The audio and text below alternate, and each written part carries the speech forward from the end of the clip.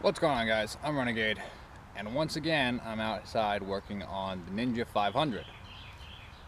Let's talk about fairings for a bit, shall we? Fairings are expensive. What I mean by that is if you can find a company that makes new fairings for an older bike, they're expensive. Hell, even making new fairings, replacement fairings for a new bike, are expensive. Buying used ones, a little cheaper, but still expensive and eh, questionable. You don't always get the best quality stuff, you know. You might go on eBay and you might find a fairing and it's listed like new and the price is right and then you get it and all the mounting tabs are broken off. It's not worth it.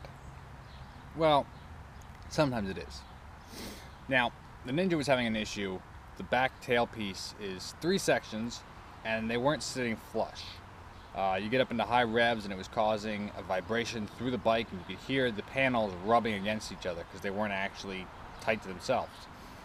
Reason for that. See this guy right here? Broken off on this side. See this ear right here with the little hole for the screw? Broken off on this side. See this little tab right here?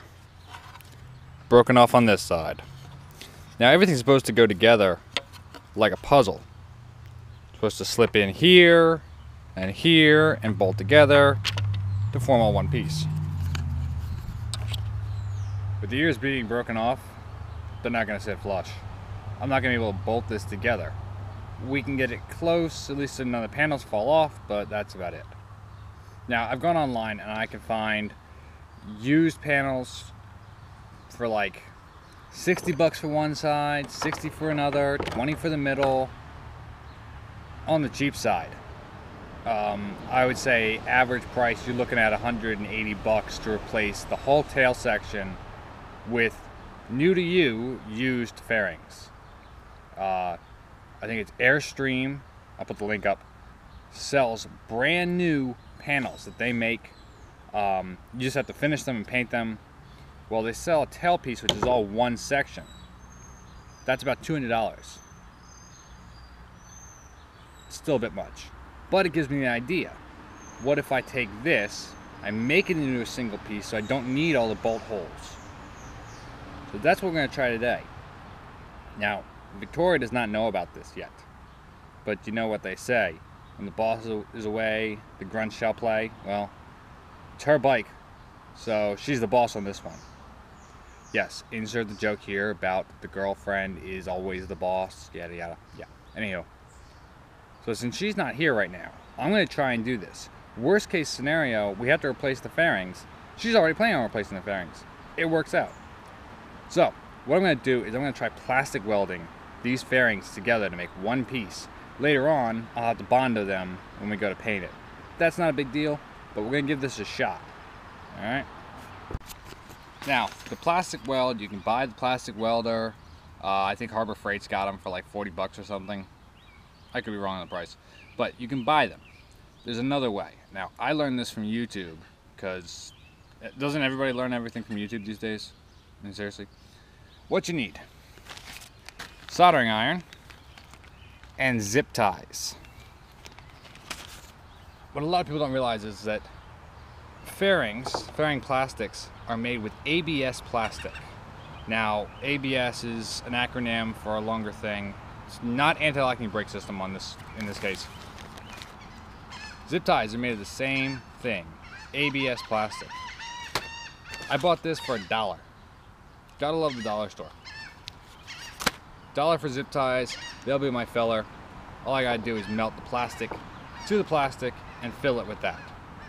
Sounds pretty simple, it's a little tedious, it's a little tricky, but I did this on my XJ and worked wonders. So we're gonna do it on this. What I'm gonna do is I'm gonna plastic weld all these pieces in together, just like they would be if they were bolted together. And I've got a zip tie holding the ears together so at least that stays. But unfortunately, humans don't have three hands, although, my word, it would be so useful. And I've got everything lined up. So do this, you need your soldering iron, which is nice and hot.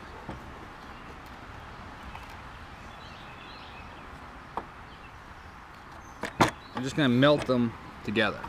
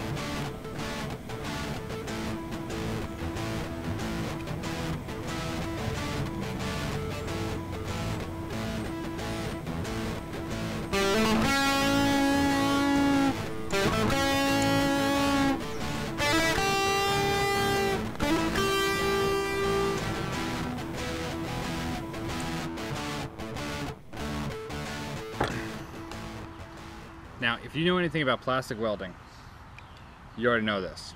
If you don't, when you're doing this, you want to melt about halfway down the plastic and try and get them to melt together. The whole idea is to take one plastic and one plastic and melt them together into one plastic.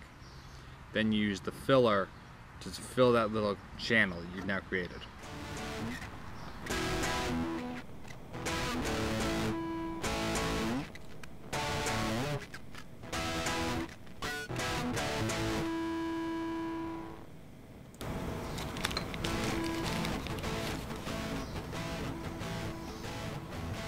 Zip tie.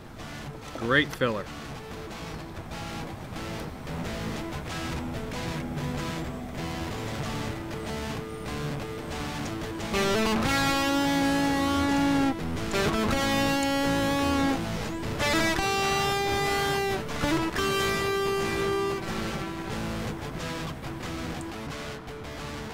All I'm doing now is filling that channel, melting the plastics together with the zip tie in between.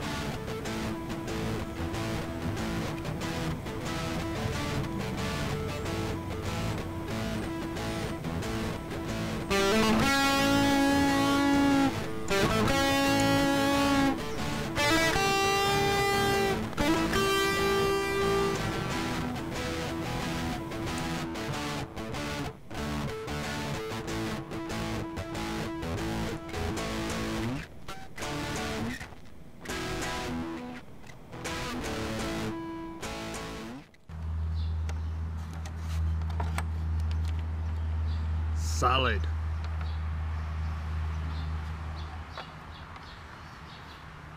Alright, I'm going to do the same thing on the other side now.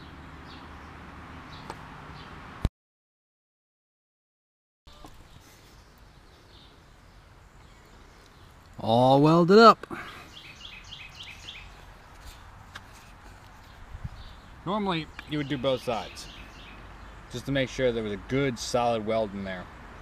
But, since this is still going to go on the bike and we're not ready to paint or anything like that, I only want to do the one side, just in case. But, this is now nice and solid. So, if all of my guesses are correct, I'm going to put this on the bike, bolt it on, and everything will be good. Let's give it a shot.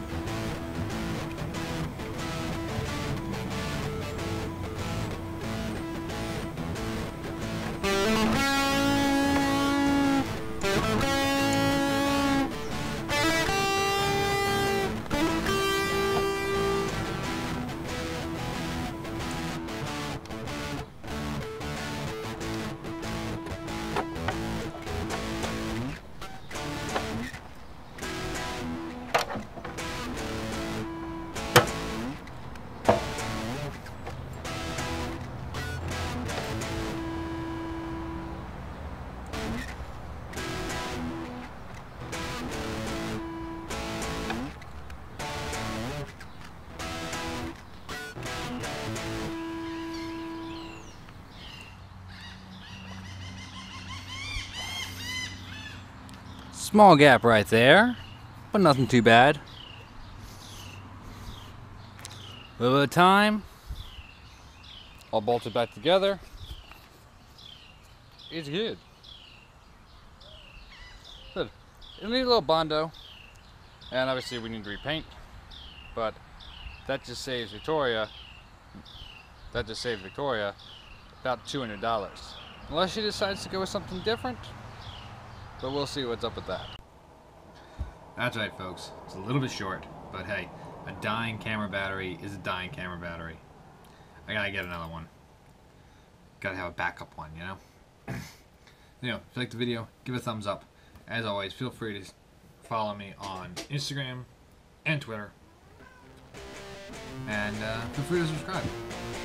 Y'all having a good day. Keep rocking and rolling.